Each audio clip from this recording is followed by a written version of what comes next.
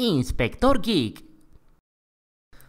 Ah, se me hace eterno terminar estos videos. Pero bueno, hay que seguir. Esta es la tercera parte donde hablo de lo que son los partners en YouTube, desde mi punto de vista y en este caso la mala experiencia que he tenido. Así que por favor vean los anteriores videos para seguir el hilo de la conversación. Entonces, veamos cómo quedó el rompecabezas hasta ahora. En primer lugar está el programa de ads de Google, que es la herramienta con la que se genera el dinero. En segundo lugar está YouTube, quien presta los servicios y host de los videos. Y en último lugar sigue el creador de contenidos, el cual puede hacer su propio esfuerzo para monetizar sus videos o depender de un partner. Quiero aclarar que no me afecta tanto la pérdida de dinero del canal. Digo, si fuera más justa en verdad no tendría problema, pero dada la situación, afortunadamente tengo un trabajo e inspector guía no es lo que hago para vivir. Tengo estudios y hasta el día de hoy he trabajado para tener todo lo que tengo. Si el día de mañana Mitu me dijera que para desvincularme de su canal solo tengo que devolver el dinero que ha metido a mi cuenta y este dinero no caería en las manos de Mitu, con todo el gusto del mundo lo haría. Es más, yo pagaría con tal de no tener que estar vinculado con esta empresa. Y es que soy una persona de ideales y el simple hecho de estar afiliado con esta empresa me da asco y me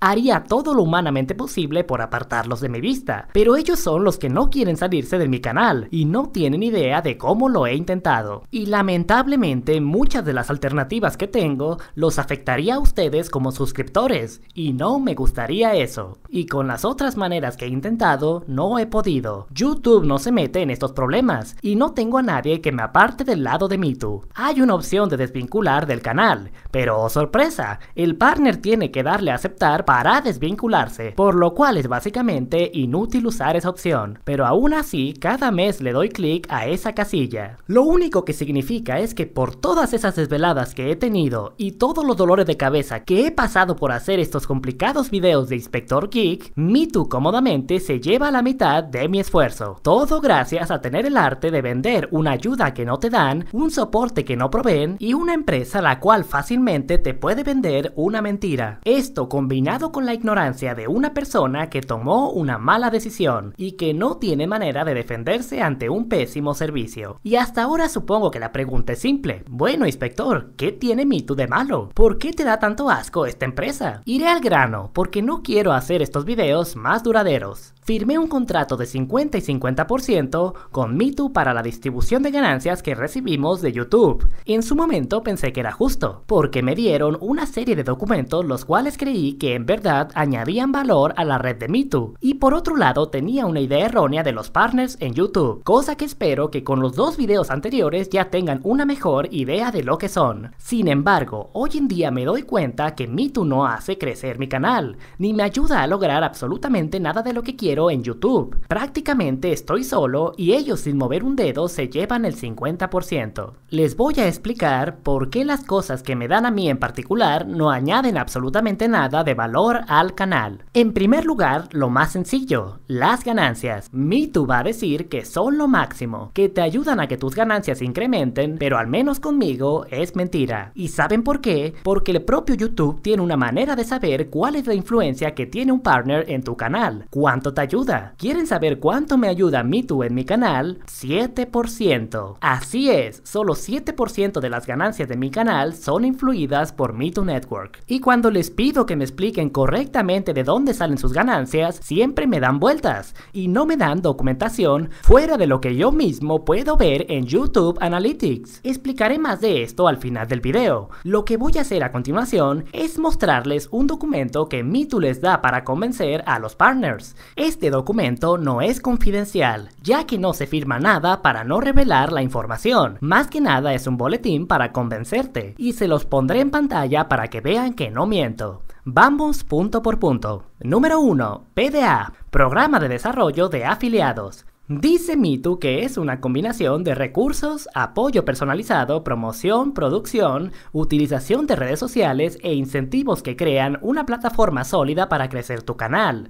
La estrategia es aumentar el número de suscriptores, reproducciones y consecuentemente las ganancias de tu canal. Disfruta de todos los recursos del PDA y utilízalos para promover rápidamente el crecimiento de tu canal. Eso suena muy bonito en teoría, pero créanme, esa ayuda es básicamente nula. La ayuda que te da Mitu son juntas por Skype para darte consejos de qué hacer con tu canal, los cuales te aseguro que cualquiera con medio cerebro te puede dar. Busca cualquier video en YouTube de cómo hacer crecer tu canal y es exactamente lo mismo que te dicen en Mito. No tiene ningún secreto milagroso que te ayudará a desarrollarte más. Tú mismo tienes que ser consciente de la calidad y el público al que puede llegar tu canal. Es una realidad que tienes que pisar el suelo. Aunque no lo quieras creer, nadie te va a ayudar a llegar a la cima. Al contrario, estas empresas solo están para dar una imagen falsa de ayuda. Explicaré detenidamente el primer párrafo de esta oración. En primer lugar, Mito no te da recursos. Yo les pedí recursos extras para poder producir mejor y me dijeron que no tienen manera de hacerlo. La promoción a mi canal es nula, porque por si no lo saben, Mito es un canal centrado principalmente en consejos de belleza y no le interesa darle publicidad a alguien que habla de temas geeks. Les pedí apoyo en producción y eso dicen que solo lo hacen con gente que ya tenga mucha fama. En serio, Mito, cuando alguien llega a ese nivel, ¿para qué necesita tu ayuda? Y finalmente la distribución en la redes sociales. Mitu no pone en su página anuncios de mi canal, solo lo hizo una vez cuando presenté molestias con ellos. Además, nadie visita estas páginas. Por favor, pasen a ver la página que tiene Mitu y verán las publicaciones que siempre están sin comentarios y likes que seguramente solo dan los empleados de la página. Bueno, siguiente punto. Número 2. Herramientas y recursos. Utiliza nuestros recursos para gestionar y promover tu canal. Voy a comentar en cada una de estas líneas para que vean lo que les están vendiendo. Una librería de más de 350.000 efectos de música y sonido, libres de derechos de autor. Estas librerías las pueden encontrar en cualquier lado. En internet hay muchos sitios que te dan música y sonidos gratis, sin necesidad de suscripción. De hecho, actualmente hasta el mismo YouTube te las regala. Noticias semanales sobre la plataforma de YouTube y otras plataformas. Estos solo son actualizaciones que básicamente escuchas en todo internet antes que de la mano de Mitu. Sugerencias para redes sociales. Yo mismo les puedo dar esas sugerencias justo ahora. Creen una página de Facebook, Twitter o cualquier otra red social y publiquen ahí los videos y estén comentando en ella todos los días. Listo, es exactamente lo que te dirá Mitu. Acceso a nuestra red social exclusivamente para Mituberos, una red en la que prácticamente nunca asiste nadie y los que hay en esta red están igual de desinformados que tú. Una búsqueda en Google para cualquier duda sirve mucho más apoyo de nuestros expertos en producción, promoción y redes sociales. Si crees que estos llamados expertos te van a dar consejos que harán tu canal famoso de la noche a la mañana, vaya que eres igual de iluso como alguna vez yo lo fui. Estos expertos son gente común y corriente que no te dicen cosas más allá de... Sube videos más seguido. Ponle nombres interesantes a tus videos. Trata de publicar el día que más se ven tus videos. Sube muchos videos. Cosas que con 5 minutos de leer los analytics de YouTube te das cuenta. Número 3. Acceso a los mejores profesionales de la industria de Hollywood.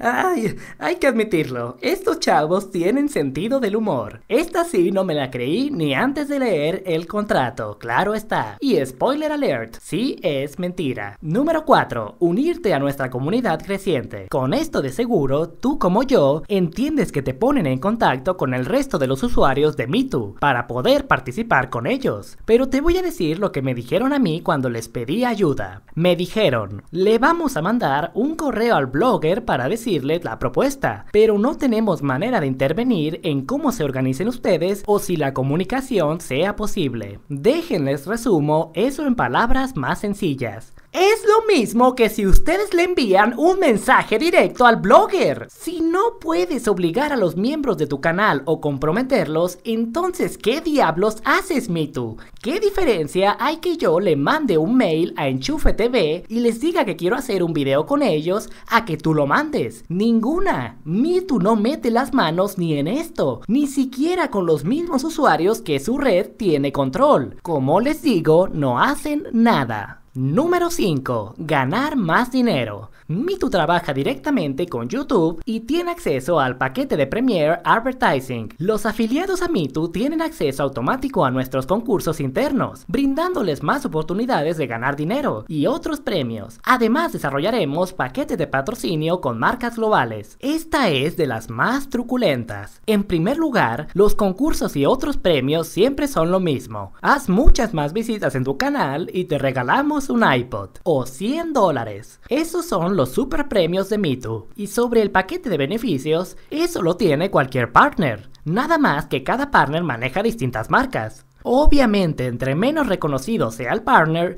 menos marcas tiene afiliadas o menor es la cantidad que ganas. Esto es la única, absolutamente la única cosa que debes de considerar al entrar con Mitu. Pero ni en esto son claros los chavos. Si fueran transparentes, te dieran una lista de los clientes que tienen afiliados al canal y te dirían cuánto dinero más agrega a tu canal con cada clic que le da la gente a los afiliados que tienen a sus anuncios. Yo he pedido esa lista y ni siquiera tuvieron la molestia de responderme ese correo, por lo que solo te queda especular. Así es, este dato es totalmente invisible para ti. Y si de promoción se trata, en Google Analytics, en la sección de fuentes de tráfico, puedes ver que tanto ven los usuarios gracias a la promoción que te da tu partner. Yo cuento con un fabuloso 0.1%. Gracias Mitu por contribuir tan enormemente a mi canal. Uf, bueno, creo que es suficiente por este video. Sé las dudas que tienen. Entonces, todos los partners son como Mitu. Si me conviene tener un partner, ¿cómo selecciono bien a mi partner? ¿Cómo ver que el partner es conveniente? ¿Por qué hay usuarios que no tienen problemas con partners y otros que sí? ¿Cómo me afilio directamente con Google y si me conviene? ¿Qué preocupaciones tomar al firmar? ¿Qué tipo de videos debo subir? ¿Es legal el tipo de contenido que subes? ¿Por qué el inspector sube cosas con copyright y no le dicen nada? ¿A todos nos esperan las mismas ganancias? Etcétera, etcétera, etcétera. Todas estas dudas van para siguientes videos, solo espero que tengan paciencia. Nos vemos, hasta luego.